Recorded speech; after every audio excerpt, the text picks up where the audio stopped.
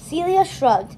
Uma and Hades were definitely planning to bring down the barrier somehow and let everyone out, except, hmm, Uma and Hades hadn't, hadn't succeeded at anything yet and probably wouldn't succeed at this either. The only thing they would achieve would be getting everyone on the Isle of the Lost in trouble. And if everyone on the Isle of the Lost was in trouble, then no one would be allowed to go to Auradon.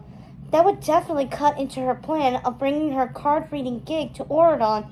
Not ideal, since they were so very trusting over there.